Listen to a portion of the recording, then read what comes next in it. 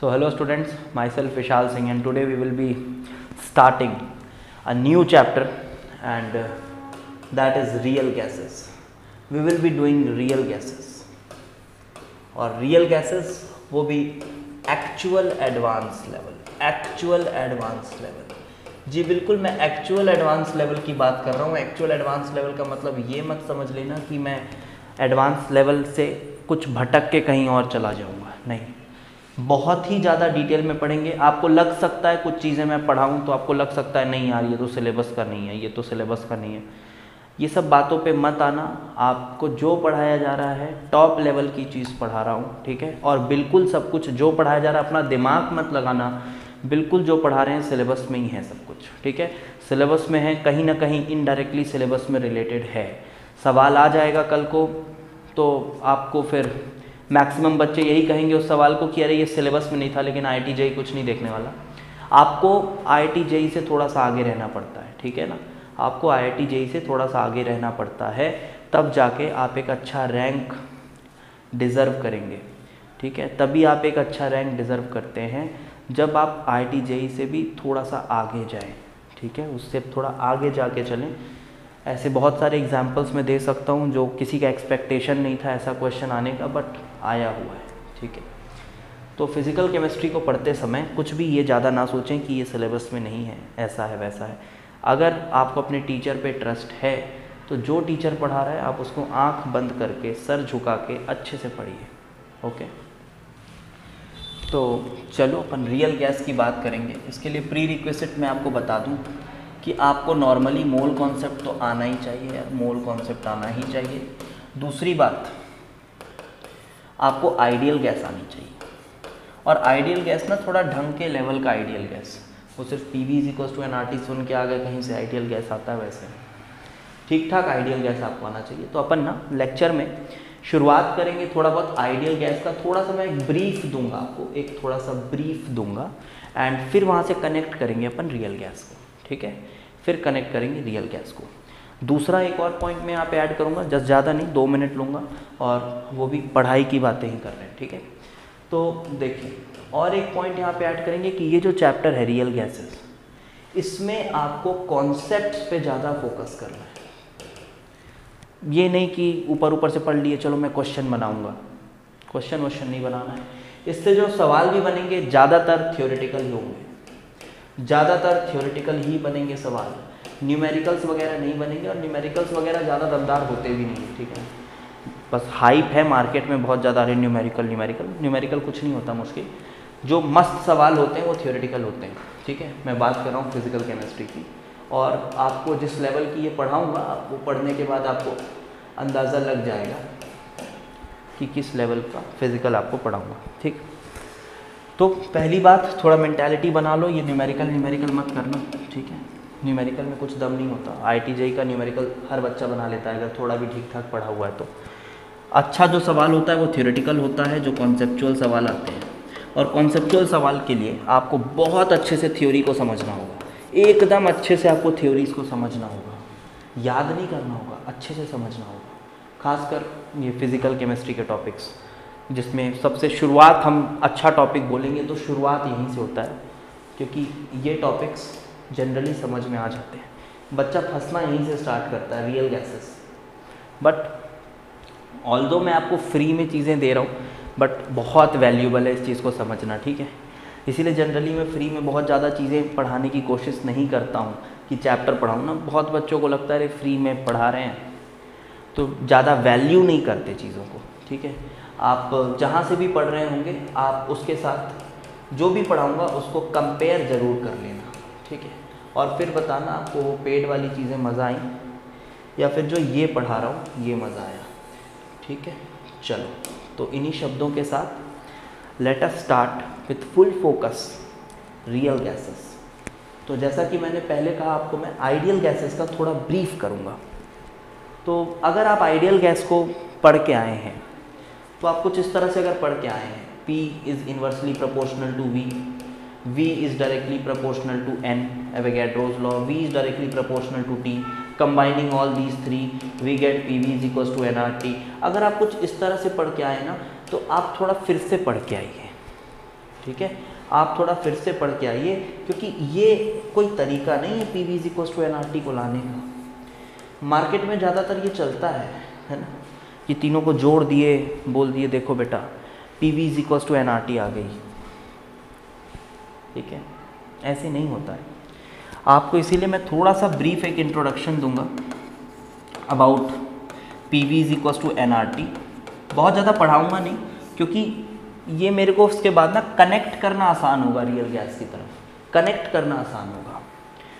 तो बेटा देखो, वो जो लॉज थे हमारे, सबसे पहले आपने पढ़ा होगा वही Boyle's law Charles law Avogadro's law वो बहुत पुराने लॉज थे। ठीक है? वो बहुत पुराने लॉज थे। वो शुरुआत में लॉज आए। उसके बाद फिर हमारी काइनेटिक थ्योरी ऑफ़ गैसेस की बात होती थी। और काइनेटिक थ्योरी ऑफ़ गैसेस आपने पढ़ी होगी, इसके आपने सब एजम्पन्स पढ़े होंगे। ठीक है?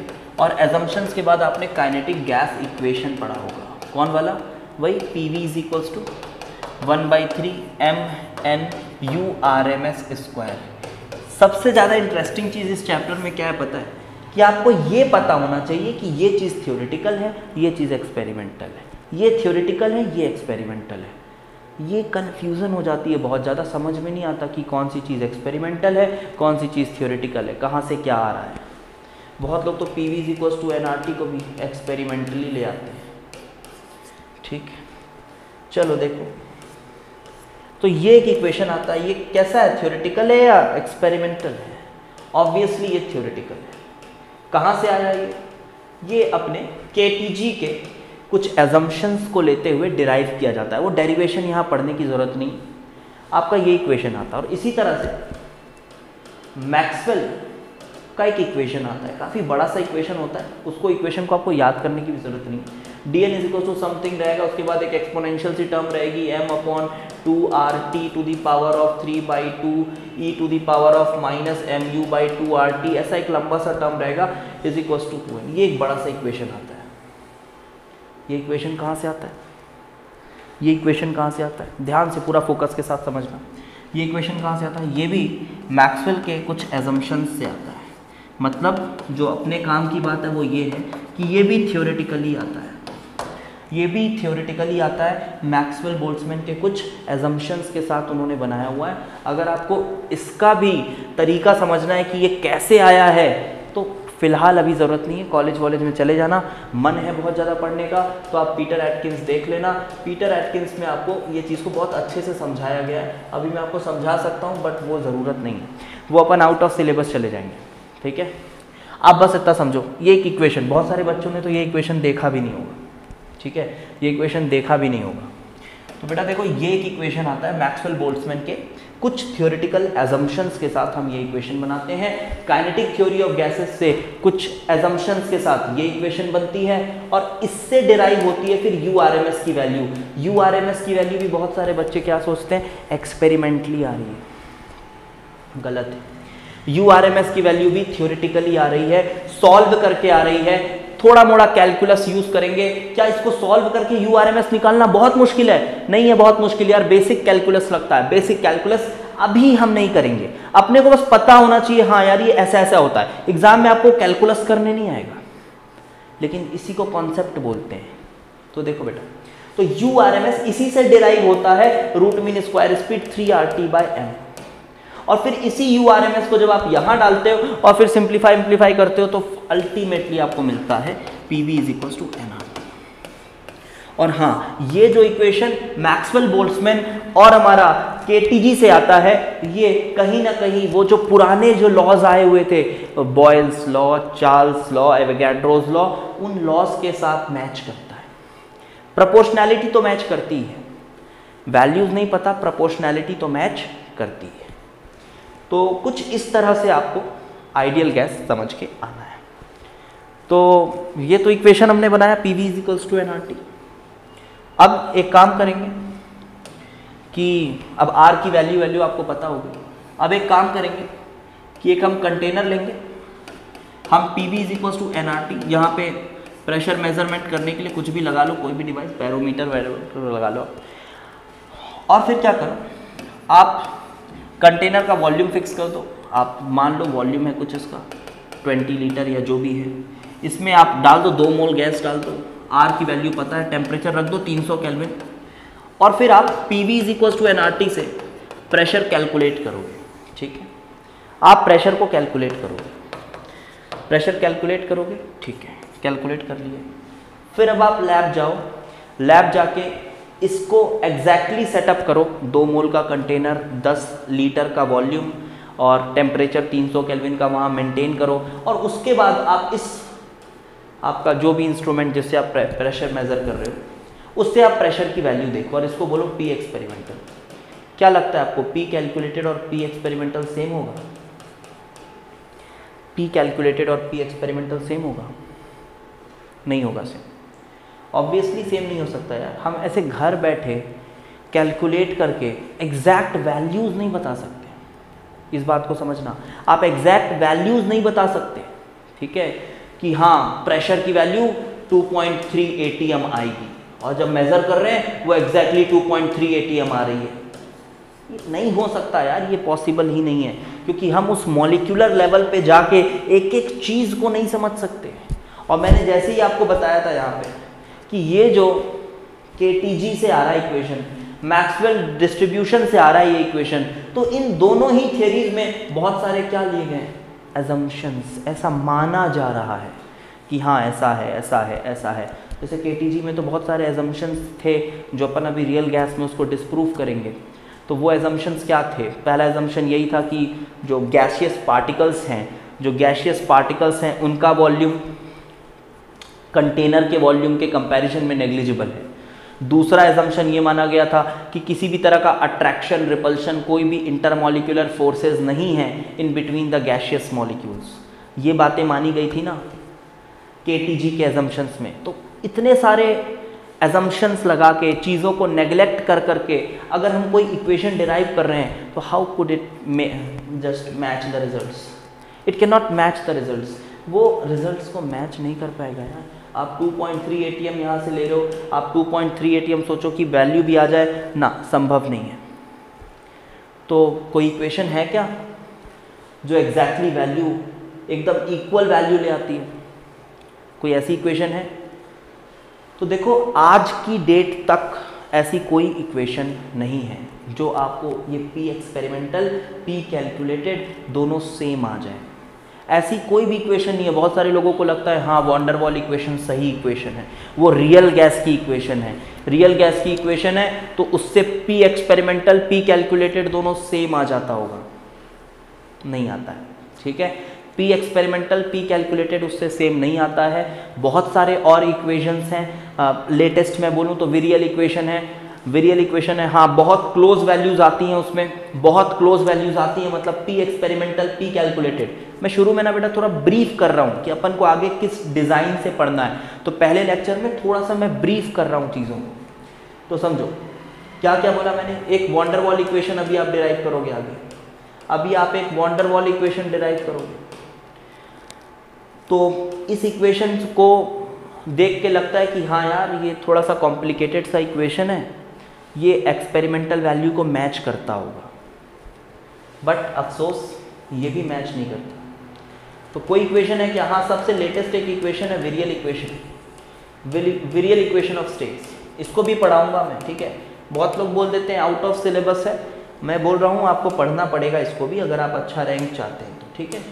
तो आप इसको पढ़ें ढंग से, समझें इसको। पढ़ाएँगे, सबसे लास्ट में आएगा ये हमारा। तो ये वेरियल इक्वेशन ऑफ़ स्टेट्स ये लेटेस्ट इक्वेशन है। लेटेस्ट है, काफ़ी कॉम्प्लिकेटेड है, काफ़ी कॉम्प्लिकेटेड है, काफ़ी कॉम्प्लिकेटेड है। तो वैल्यूज़ मैच करनी चाहिए यार, इतना मेहनत से बनाया गया है, काफ़ी कॉम्प्लिकेटेड है। एग्जैक्टली exactly तो वैल्यू ये भी मैच नहीं करा पाता।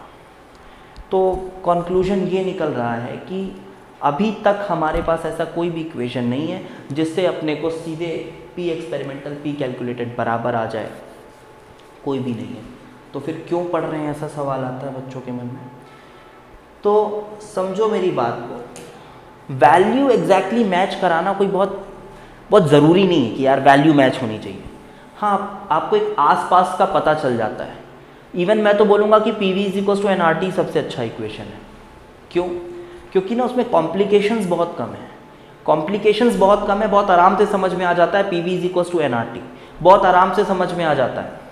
और ठीक है रिज़ल्ट थोड़ा वेरी करता है, थोड़ा वेरी करता है बट फिर भी आपको एक आइडिया मिल जाता है। जैसे मानो फॉर एग्ज़ाम्पल मैं आपको बोल रहा हूँ कि ए से बी जो है, आपने मुझसे पूछा ए से मुझे बी जाना है, कितना दूर है यार? आपको नहीं पता। मैंने बोल दिया, यार, हज़ार किलोमीटर है।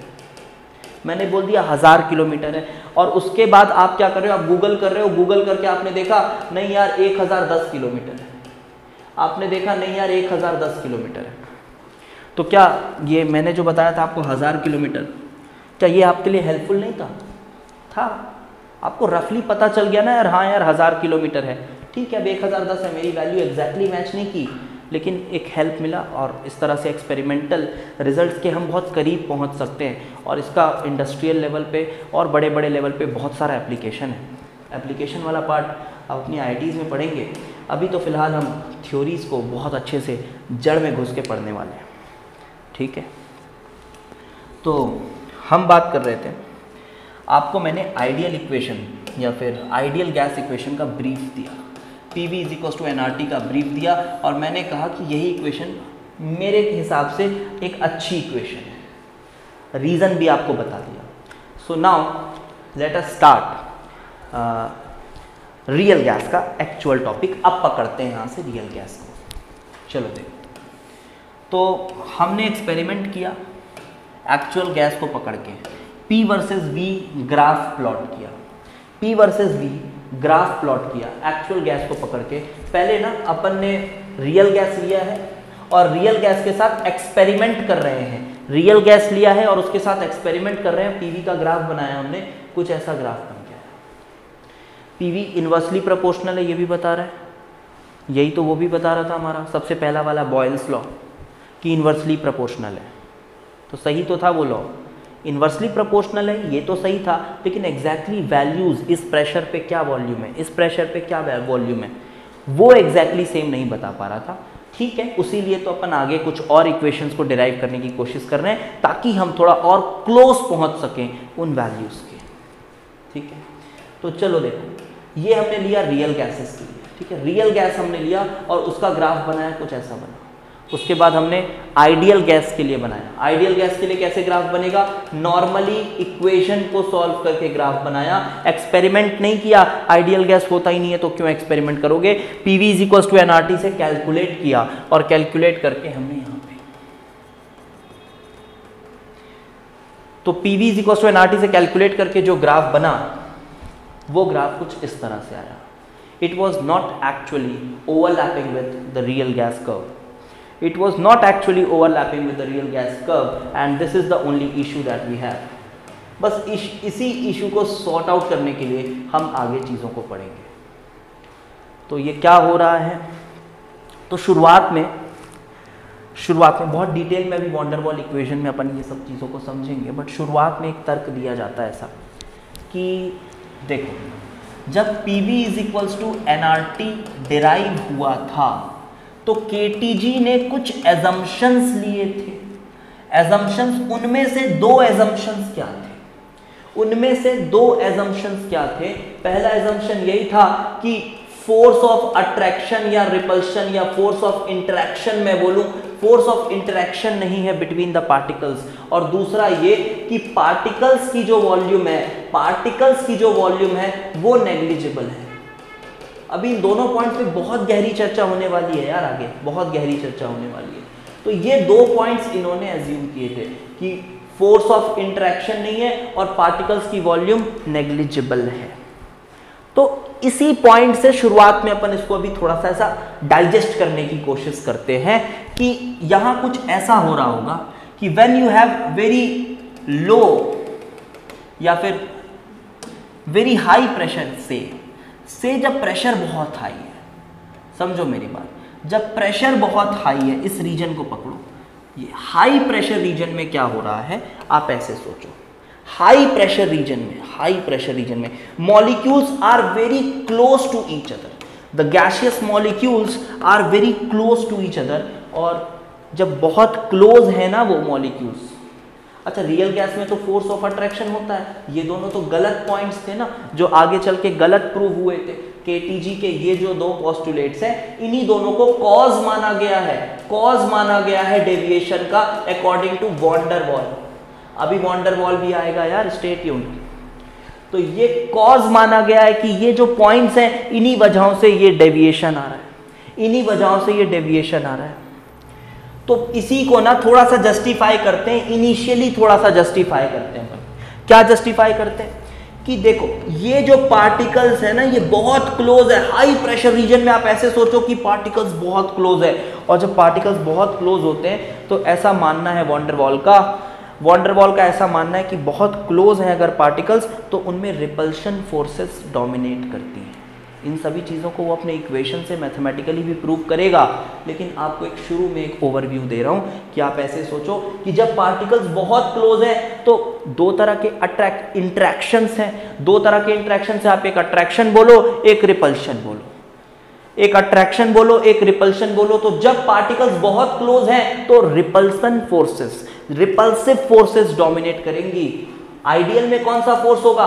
आइडियल में कोई फोर्स नहीं है तो आइडियल तो बिना किसी फोर्स ऑफ़ इंटरेक्शन वाला वॉल्यूम है। वी आइडियल और वी रियल में वी रियल जब रियल वॉल्यूम आएगी तो उसमें थोड़ा रिपल्शन है, क्योंकि पार्टिकल्स बहुत क्लोज है। अगर रिपल्शन है तो जो वॉल्यूम हम मेजर करेंगे एक्सपेरिमेंटली वो आइडियल से क्या आएगा? थोड़ा ज़्यादा आइडियल से ज़्यादा आएगा। वी रियल आइडियल से ज़्यादा आएगा। कब? जब पार्टिकल्स बहुत क्लोज है। तो ये देखो। हाई प्रेशर रीजन में। हाई प्रेशर रीजन में आप एक गिवन प्रेशर पे देखो तो ये देखो, ये आ रहा है तुम्हारा वी रियल और ये आ रहा है तुम्हारा वी आइडियल ठीक है? ये आ रहा है तुम्हारा वी रियल और ये आ रहा है वी आइडियल ये देखो। ड्यू टू द रिपल्शन और इसी चीज़ को जब हम थोड़ा सा ज़्यादा वॉल्यूम पे जाएँगे, ज़्यादा वॉल्यूम मतलब लो प्रेशर और हम कहेंगे जब पार्टिकल्स दूर दूर हैं, जब पार्टिकल्स दूर दूर हैं, दूर दूर हैं, दूर दूर हैं तो इनके बीच में कौन सा फोर्स डोमिनेट करेगा? अट्रैक्टिव फोर्स डोमिनेट करेगा। ठीक है? अब इसमें कितनी सच्चाई है, क्या है, सब आपको आगे पढ़ाऊँगा। धीरे धीरे चीज़ें अनफोल्ड होंगी। ऐसा नहीं सोचना कि हाँ बस हाँ मेरे को समझ आ गया। इतना आसान नहीं है। ठीक है? इतना आसान नहीं है। तो क्या होगा? तो हम ये कह रहे हैं कि यार जब लार्ज मोलर वॉल्यूम होगा तो हाँ ठीक है अट्रैक्शन डोमिनेट करेगा और अट्रैक्शन डोमिनेट करेगा। तो यहाँ पे लिख देता हूँ मैं अट्रैक्शन डोमिनेट करेगा।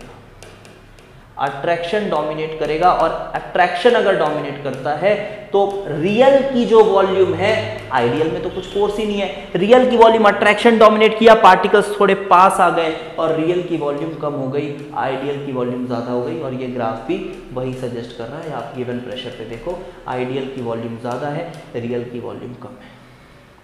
एक प्रेशर रीजन के बाद, ठीक है? तो इस बेसिक से ग्राफ को समझने का पहला तरीका ये हो सकता है।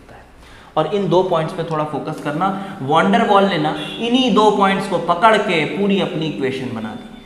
उसने मेहनत नहीं किया। उसने मेहनत करके कोई नई इक्वेशन नहीं बनाई।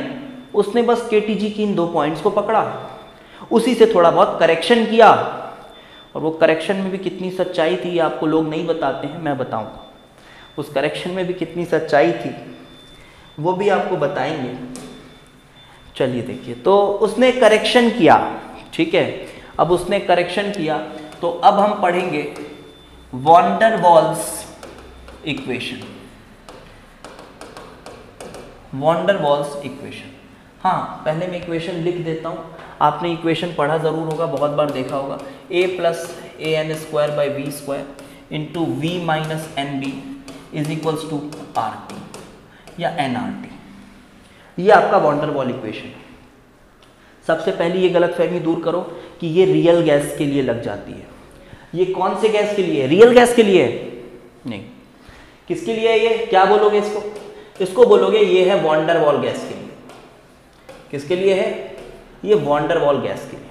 हाँ रियल गैस तक पहुँचने का एक अप्रोच था कि हाँ हम रियल गैस की एक इक्वेशन बनाएँगे। बट असफल प्रयास था। इसलिए इस, इसको बोल दिया गया कि हाँ ये वॉन्डर वॉल गैस के लिए लो, तुम भी अपना नाम रख लो वॉन्डर वॉल गैस के लिए तो आपको दिख रहा है कुछ कि कहीं ना कहीं ये P V is equal to N R T कोई थोड़ा सा उसी में छेड़खानी कर दी गई है और ये इक्वेशन आ गया है। आप देखिए P V is equal to N R T में ही थोड़ी सी छेड़खानी कर दी गई है और ये इक्वेशन आ गया है। प्रेशर में थोड़ा सा कुछ कुछ कर दिया और वॉल्यूम में थोड़ा सा कुछ कुछ कर दिया और फिर बोला, ये देखो भाई, ये इक्वेशन है, ये बेटर इक्वेशन है.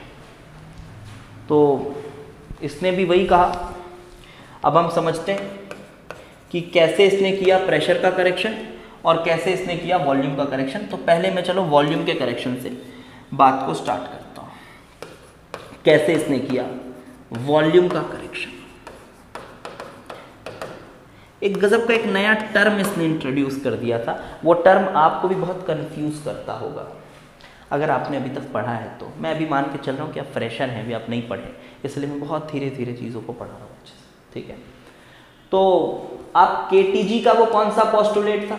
वॉल्यूम वाला। के ने क्या एज्यूम किया था? के ने ये एज्यूम किया था कि वॉल्यूम ऑफ़ गैस पार्टिकल्स कि आप अगर गैस के पार्टिकल्स की वॉल्यूम देखो, गैस के पार्टिकल्स की वॉल्यूम देखो और वॉल्यूम ऑफ़ कंटेनर देखो। कंटेनर बोलूँ या फिर वॉल्यूम ऑफ़ गैस बोलूँ, एक ही बात होती है लैंग्वेज में कंफ्यूज मत होना। गैस पार्टिकल्स बोलूँ और इधर वॉल्यूम ऑफ़ कंटेनर बोलूँ या गैस बोलूँ, एक ही बात है। वो कह रहा था काइनेटिक थ्योरी कह रही थी कि ये बहुत ज़्यादा बड़ी है और इसको हम क्या करेंगे? नेग्लेक्ट करेंगे। इसको क्या करेंगे हम? नेग्लेक्ट करेंगे। तो ठीक है। तो वॉन्डरवॉल क्या कहता है? वॉन्डरवॉल कहता है कि ये जो वॉल्यूम है ना, ये वी यहाँ वी नहीं होना चाहिए। ये वी नहीं होना चाहिए यहाँ पे, यहाँ वी नहीं होना चाहिए। यहाँ वी के जगह पे एक उसने नया सा टर्म इंट्रोड्यूस कर दिया। उसने बोला, यहाँ पे एक्चुअल वॉल्यूम नहीं होना चाहिए, यहाँ ना एक फ्री वॉल्यूम होना चाहिए। समझना ध्यान से, सुनना ध्यान से। उसने कहा कि यहाँ पे वी नहीं होना चाहिए वी की जगह पे अगर आपको दो चीज़ों का प्रोडक्ट इस तरह से सोचो, अगर दो चीज़ों का प्रोडक्ट आपको एनआरटी चाहिए तो ये जो दूसरी चीज़ है, वो प्योर वॉल्यूम नहीं होनी चाहिए। ऐसे सोचो, दूसरी चीज़, ऐसा सोचो। उसको बहुत ज़्यादा कंसेप्चुअली सोचने की कोशिश मत करो, क्योंकि मैं इसके पीछे की सच्चाई भी आपको बताऊँगा कि ये जो फ्री वॉल्यूम वॉल्यूम है, सब धोखा है, कुछ नहीं। ये सब धोखा है और कुछ नहीं। एक्चुअल चीज़ आपको बताऊँगा। तीसरे, चौथे लेक्चर तक आप वहाँ तक पहुँच जाओगे। आप समझो। तो शुरू में क्या? ये कह रहा है कि ये जो दो चीज़ हैं, दो चीज़, उनका प्रोडक्ट अगर एनआरटी करना है तो ये दूसरी चीज़ जो है, वो वॉल्यूम ऑफ़ कंटेनर नहीं होगी। वो फ्री वॉल्यूम होगी। वो फ्री वॉल्यूम होगी फ्री वॉल्यूम तो लोगों ने कहा, ऐसा क्यों? लोगों ने शुरुआत में कहा, ऐसा क्यों? फ्री वॉल्यूम ये क्यों? फ्री वॉल्यूम तो उसने बोला, यार देखो के गलत थी ना। के गलत थी ना। क्यों गलत थी? क्योंकि उसने माना था कि गैस के पार्टिकल्स का वॉल्यूम नेग्लिजिबल है। मैं उन गैस के पार्टिकल्स को उनकी जगह दे रहा हूँ और कुछ नहीं। मैं उन गैस के पार्टिकल्स को उनकी जगह दे रहा हूँ और कुछ नहीं। इसको बहुत ज़्यादा कॉन्सेप्चुअली नहीं सोचना है। ऐसे ही सोचना है, ठीक है? ऐसे ही सोचना है जैसे बता रहा हूँ, वैसे ही सोचना है। कि हाँ यार, देखो केटीजी में केटीजी ने ये एजम्पन लिया था, ये एजम्पन सही नहीं है। आप गैस के पार्टिकल्स की वॉल्यूम को इग्नोर नहीं कर सकते तो आप यहाँ सिर्फ़ वी मत लिखो। सिर्फ़ आप वी मत लिखो। आप क्या लिखो वहाँ पे? फ्री वॉल्यूम लिखो। तो फ्री वॉल्यूम कितना होगा गैस के लिए? तो गैस की फ्री वॉल्यूम कितनी होगी? फ्री वॉल्यूम मतलब वो वॉल्यूम आप गैस पार्टिकल्स को ऐसा पॉज करो। आप सोचो आपके रूम में गैस पार्टिकल्स हैं, आप एक कंटेनर के अंदर हो गैस पार्टिकल्स हैं, और गैस पार्टिकल्स रैंडमली मूव कर रहे हैं, और आप पॉज बटन दबा दो। आप पॉज बटन दबाओ और देखो कि अब कितना स्पेस है जो कि फ्री है गैस पार्टिकल्स के लिए। तो वो फ्री वॉल्यूम क्या आएगा? वो फ्री वॉल्यूम क्या आएगा? वो फ्री वॉल्यूम ये आएगा ना? ये फ्री वॉल्यूम ऐसा आएगा। V माइनस हम उस V में, V क्या है यहाँ पे? कंटेनर का वॉल्यूम गैस का वॉल्यूम लेकिन लेकिन ये क्यों नहीं मैच कर रहा है रिज़ल्ट वॉन्डरवॉल का कहना था कि भाई ये दो चीज़ों का प्रोडक्ट एनआरटी तभी होगा जब ये V नॉर्मल सिर्फ़ वॉल्यूम नहीं होगी, वो फ्री वॉल्यूम होनी चाहिए। आप इसको कंसिडर कर लो और इसको कंसिडर करोगे तो आप रियल गैस की इक्वेशन बना लोगे। इसके पीछे लॉजिक क्या है? एक्चुअली में तो किसी को नहीं पता, इसके पीछे का लॉजिक क्या है? ठीक है? बहुत लोग समझा भी देते हैं कि हाँ इसके पीछे का लॉजिक ये है। बहुत लोग ऐसे भी समझा देते हैं ये कि हाँ आप देखो बेटा, आप एक ऐसा कंटेनर इमेजिन करो। देखो, ऐसे, ये सब चीज़ें आप सुने होंगे, हो सकता है कि आप एक ऐसा कंटेनर इमेजिन करो, जिसमें जो पार्टिकल की साइज़ है, वो कंटेनर के साइज़ के ही बराबर है। जो पार्टिकल की साइज़ है, वो कंटेनर के साइज़ के ही बराबर है। है ना? पार्टिकल की साइज़ जो है, वो कंटेनर के साइज़ के ही बराबर है तो क्या वो प्रेशर लगाएगा? क्या वो प्रेशर लगाएगा? वो पार्टिकल प्रेशर लगाएगा? नहीं लगाएगा सर क्योंकि वो मूव नहीं कर रहा है। ठीक है, आप अगर ऐसे सोच रहे हो, कोई बुराई नहीं है बट मैं बताऊँ आपको एक्चुअल रियलिटी कुछ इस तरह से है। और एक्चुअल में फ्री वॉल्यूम वॉल्यूम कुछ है नहीं। ये फ्री वॉल्यूम वगैरह कुछ है नहीं। तो अभी आप ऐसे समझ रहे हो चीज़ों को कि इस V के जगह हमने कुछ रिप्लेस करना है और रिप्लेस कुछ इस तरह से करना है। क्या रिप्लेस करना है? वॉल्यूम ऑफ़ पार्टिकल्स हम रिप्लेस करेंगे वॉल्यूम ऑफ़ पार्टिकल्स अच्छा चलो ठीक है। वॉल्यूम ऑफ़ पार्टिकल्स रिप्लेस करो। वॉल्यूम ऑफ़ पार्टिकल्स रिप्लेस करो। तो ये है वॉल्यूम ऑफ़ पार्टिकल्स ठीक है सर, कोई बात नहीं वॉल्यूम वॉल्यूम ऑफ़ पार्टिकल्स को मैं रिप्लेस कर रहा हूँ, मैं ऐसे कर देता हूँ। मैं ऐसे करता हूँ। थोड़ा सा बेटा पेशेंस रखना बस, ठीक है? पेशेंस रखना थोड़ा सा पेशेंस रखना मज़ा आ जाएगा। देखो, ये देखो, ये वॉल्यूम ऑफ़ पार्टिकल्स ये हमने क्या किया? ठीक है, हमने मोल्स वोल्स हमको पता है, हमने वॉल्यूम ऑफ़ कंटेनर लिखा volume of gas minus particles की वॉल्यूम एक रिजिड स्फीयर मान लिया उसको, और four by three pi R cube हमने माइनस कर दिया। और कुछ एन मोल्स हैं, जितने भी मोल्स हैं मोल्स से मल्टीप्लाई कर दिए तो आपको पूरी तरह से वॉल्यूम ऑफ़ पार्टिकल्स मिल गया। ठीक है? स्पीयर मानते हुए।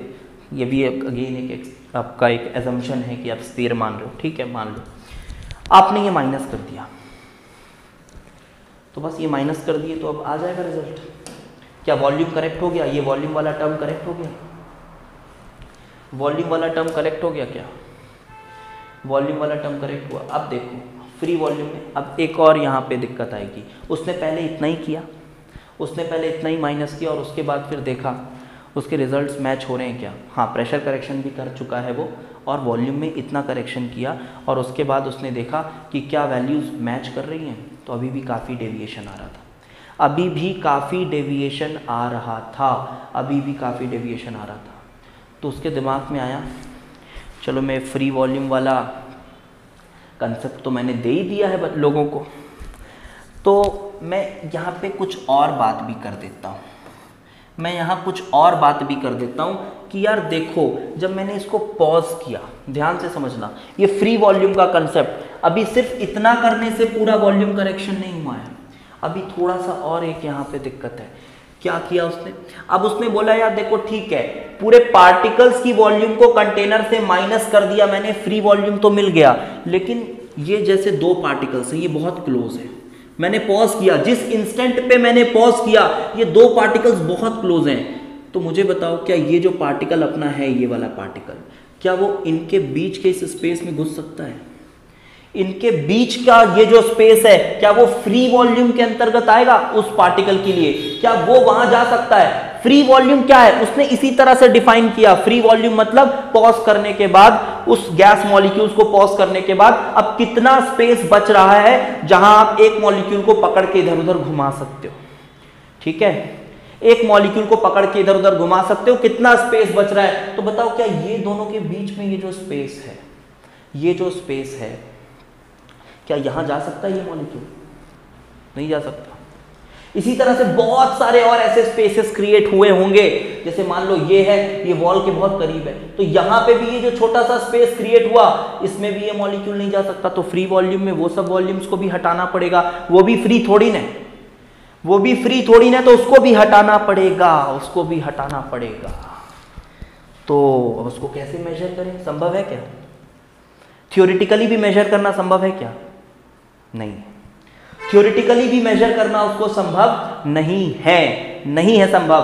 तो इसने क्या किया? इसने बहुत सारे एक्सपेरिमेंट एक्सपेरिमेंट किए। बहुत एक्सपेरिमेंट किए। देखा रिज़ल्ट क्या मल्टीप्लाई यहाँ कर दूँ? यहाँ क्या मल्टीप्लाई कर दूँ? क्योंकि थोड़ा ज़्यादा वॉल्यूम थोड़ा ज़्यादा वॉल्यूम माइनस करना पड़ेगा। ज़्यादा वॉल्यूम माइनस करना पड़ेगा। तो उसने सोचा, क्या मल्टीप्लाई कर दूँ, क्या मल्टीप्लाई कर दूँ कि मैं थोड़ा क्लोज पहुँच जाऊँ क्लोज पहुँच जाऊँ? तो एट लास्ट उसने एक्सपेरिमेंट करके एक फैक्टर निकाला। उसने बोला, चलो मैं यहाँ फोर मल्टीप्लाई कर देता हूँ। मैं यहाँ क्या मल्टीप्लाई कर देता हूँ? फोर मल्टीप्लाई कर देता हूँ। तो उसने बोला, ठीक है। ये जो वी गैस और ये फोर इंटू दिस वॉल्यूम को ही उसने कह दिया एन बी इसी को इसने कह दिया एन बी और बी एक करेक्शन फैक्टर है। अभी शुरुआत में तो वो अपन उसको ऐसे ही पढ़ेंगे कि हाँ ये साइज़ के बारे में बता रहा है बट दो तीन लेक्चर के बाद पर्दे खोलूँगा थोड़े और, ठीक है? अभी थोड़ा सा सस्पेंस में रहो। तो क्या बोला मैंने? इस V की जगह पे क्या लिखना ठीक होगा? इसने कहा इसने कहा कि प्रेशर का करेक्शन तो ठीक है वी माइनस एन बी करो। और ये एन बी क्या है? ये वाला और इसके पीछे का थोड़ा सा क्या लॉजिक लगाया, वो मैंने आपको बता दिया। और वो लॉजिक के पीछे जो दिमाग था, वो थोड़ा सा एक प्रेजेंट करने का तरीका है थ्योरी को। उसने काइनेटिक थ्योरी गैसेस की, ये वाले पॉस्टुलेट को पकड़ा और उसको बदनाम किया और इस तरह से फ्री वॉल्यूम का कॉन्सेप्ट ईजाद किया। ओके आई होप आपको यहाँ तक चीज़ें बढ़िया से समझ आई। शेयर भी करो यार वीडियोस को, बहुत ज़्यादा से ज़्यादा, ठीक है? तभी आगे के लेक्चर्स लेके आऊँगा, नहीं तो रुक जाऊँगा मैं क्या बताऊँ? ठीक है? ज़्यादा से ज़्यादा शेयर करो। चलो तो अब अपन बात करेंगे दूसरे करेक्शन की, जो कि है प्रेशर करेक्शन तो अभी हमने वॉल्यूम को करेक्ट किया और अब हम प्रेशर करेक्शन की बात करेंगे।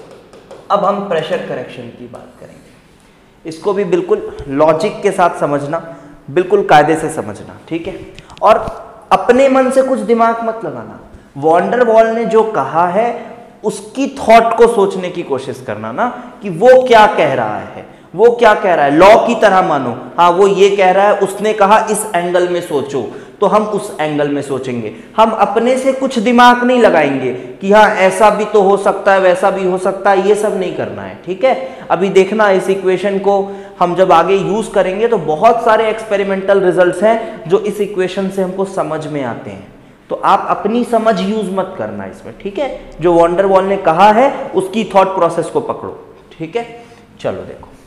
तो प्रेशर करेक्शन की बात करा इसने वॉल्यूम करेक्शन के बाद, अब देखो, अब एक और पॉस्टुलेट को ये पकड़ेगा। केटीजी की एक और पॉस्टुलेट को पकड़ेगा और कहेगा कि ये गलत है, वो कौन सी पॉस्टुलेट थी? वो पॉस्टुलेट थी कि किसी भी तरह का फोर्स ऑफ़ अट्रैक्शन नहीं है। फोर्स ऑफ़ अट्रैक्शन एबसेंट है। ये वाली पॉस्टुलेट को पकड़ेगा। अब ये कहेगा, नहीं यार एबसेंट नहीं है। फोर्स ऑफ़ अट्रैक्शन तो होता है। फोर्स ऑफ़ अट्रैक्शन तो होता है तो एबसेंट नहीं है। एबसेंट मान लिया केटीजी ने, इसीलिए तो उसमें डेविएशन आ रहा है। तो हम इसको करेक्ट कर देंगे। ऐसा वॉन्डरवॉल का कहना था। तो अब इसने क्या बोला? ध्यान से देखो, इसने सिर्फ़ अट्रैक्शन की बात की है। ये एक बड़ा डाउट आता है, सर अट्रैक्शन की डाउट क्यों? अट्रैक्शन की ही बात क्यों हुई है? रिपल्शन की भी तो बात होनी चाहिए, लेकिन इसने इस पॉइंट में सिर्फ़ किसकी बात की है? अट्रैक्शन की बात की है। समझ आएगा धीरे धीरे आपको एक्चुअली में। वो जो एक्चुअली में जो फ्री वॉल्यूम वाला सस्पेंस मैंने लगा के रखा है ना अभी अभी आपको समझ में आएगा वो फ्री वॉल्यूम एक्चुअली में है क्या। तो ये फोर्स ऑफ़ अट्रैक्शन तो यहाँ इसने किसकी बात की? अट्रैक्शन की ही बात की। बोला, ठीक है यार अट्रैक्शन देखो बस, ठीक है? ज़्यादा दिमाग मत लगाओ अट्रैक्शन को देखो। तो यहाँ पे इसने बोला कि ये पार्टिकल है। ये पार्टिकल है और यहाँ पे पार्टिकल है। दो पार्टिकल्स को कंसिडर करो। अगर पार्टिकल यहाँ पे होगा अगर पार्टिकल यहाँ पे होगा तो चारों तरफ़ से इसको नेट फोर्स बराबर मिल रहा होगा। नेट फोर्स ऑफ़ अट्रैक्शन हर तरफ़ से मिल रहा होगा बराबर मिल रहा होगा नेट फोर्स ऑफ़ अट्रैक्शन बराबर मिल रहा होगा। एक्चुअली मैं बताऊँ जो फ्री वॉल्यूम वाला वो जो बी टर्म है ना वो कहीं ना कहीं रिपल्शन को सिग्निफाई करता है। वो कहीं ना कहीं रिपल्शन को सिग्निफाई करता है। I tell you how but वो कहीं ना कहीं रिपल्शन को सिग्निफाई करता है। तो इस थेरी में रिपल्शन को भी कंसिडर किया गया है बट वो नॉर्मली जेई लेवल पे वो दिखता नहीं है हमको। ठीक है? तो चलो, अभी बात करेंगे उस पर तो ये देखो, ये एक पार्टिकल है। ये पार्टिकल में चारों तरफ़ बराबर अट्रैक्शन है तो हम बोलेंगे नेट फोर्स नहीं है। तो नेट फोर्स नहीं है तो ठीक है। तो फ़र्क नहीं पड़ना चाहिए फोर्स ऑफ़ अट्रैक्शन की वजह से। बट अगर आप इसी पार्टिकल का उस पॉइंट ऑफ़ टाइम पे देखोगे, जब ये यहाँ पहुँचा हुआ है, जब ये अबाउट टू कोलाइड है, इसके इधर और कोई पार्टिकल नहीं है, सिर्फ़ वॉल ऑफ़ कंटेनर है। जब ये अबाउट टू कोलाइड है तो हम ये कहेंगे कि हाँ अब तो एक पीछे की तरफ़ इसको एक ड्रैग मिलेगा, है ना? अब इसको एक पीछे की तरफ़ क्या मिलेगा? ड्रैग मिलेगा। अब इसको एक ड्रैग मिलेगा। तो इस ड्रैग से क्या होगा? इस ड्रैग से क्या होगा? इसकी जो प्रेशर है, वो हमारी उम्मीद से क्या हो जाएगी? कम हो जाएगी। ये जो प्रेशर है, बड़े ध्यान से, बिल्कुल फोकस के साथ समझना इस बात को। तो अब जो इसकी प्रेशर जो हमें मिलेगी, जो हमें प्रेशर मिलेगी, वो हमारे उम्मीद से या फिर आइडियली जो हम मान रहे थे, उससे थोड़ी कम आएगी। क्योंकि एक तरह का क्या मिल गया इसको? अट्रैक्शन मिल गया। सर रिपल्शन भी तो मिल सकता है। मत सोचो उस एंगल पे। मत सोचो उस एंगल पे। इसने किसकी बात की? सिर्फ़ अट्रैक्शन की बात की इस पॉइंट पे तो इसके इस पॉइंट को समझो बस। सर रिपल्शन की बात क्यों नहीं की इस पॉइंट पे? इसका कोई जवाब नहीं ठीक है? इसका कोई जवाब नहीं है। एक इनडायरेक्ट हिंट आपको दे दिया है मैंने कि वो जो फ्री वॉल्यूम वाला बी टर्म है, वो कहीं ना कहीं रिपल्शन को सिग्निफाई करता है। बट देखो अभी आगे। तो ये फोर्स ऑफ़ अट्रैक्शन तो बात ये है कि जो हमारा ये P V is equal to NRT हमने लिखा, इसमें ये पी कौन सा पी है? ये पी कौन सा पी है? ये वो प्रेशर है जब गैस के बीच में कोई अट्रैक्शन नहीं है है ना? ये वो प्रेशर है जब गैस के बीच में कोई अट्रैक्शन नहीं है। Pressure when there is no attraction there is no attraction between gas particles जब गैस पार्टिकल्स के बीच में कोई भी अट्रैक्शन नहीं है, उस समय का प्रेशर है ये पी उस समय का प्रेशर है। लेकिन क्या ये पी हम रियल गैस का ऑब्ज़र्व प्रेशर इसको बोल सकते हैं? क्या हम इस पी को पी ऑब्जर्व्ड बोल सकते हैं रियल गैस के लिए? नहीं बोल सकते। इस पी को पी ऑब्ज़र्व नहीं बोल सकते। तो अगर आपको इस इक्वेशन से आप ये पी कैलकुलेट कर रहे हो तो क्या वो सही आएगा? नहीं आएगा। वो P ऑब्ज़र्व है ही नहीं, क्योंकि P ऑब्ज़र्व इस P से छोटा होगा। P ऑब्ज़र्व इस P से छोटा होगा, क्योंकि एक्चुअल में मॉलिक्यूल्स को एक पीछे की तरफ़ का ड्रैग मिल रहा है, जब वो टक्कर खाने वाले हैं वॉल्स के साथ। जब वो वॉल्स के साथ अबाउट टू कोलाइड है तो उनको पीछे की तरफ़ एक ड्रैग मिल रहा है। तो हम क्या बोलेंगे? इस पी को क्या हटा दें? पी को हटा दें? नहीं, हटाना नहीं है, सिर्फ़ थोड़ा करेक्ट कर रहे हैं। हम बोल रहे हैं, ये पी काफ़ी बड़ी वैल्यू है। लेकिन हमें आइडियल गैस इक्वेशन इसका प्रोडक्ट एनआरटी अगर चाहिए तो इस पी के जगह, इस मतलब आप ऐसे सोचो, इस पी के अंदर कहीं पी ऑब्जर्व्ड है।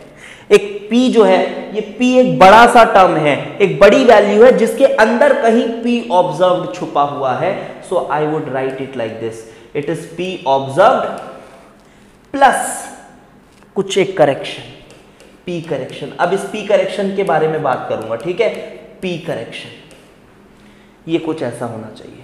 और V तो हमने कर ही दिया है, V minus N B V minus N B वहाँ बी क्या था?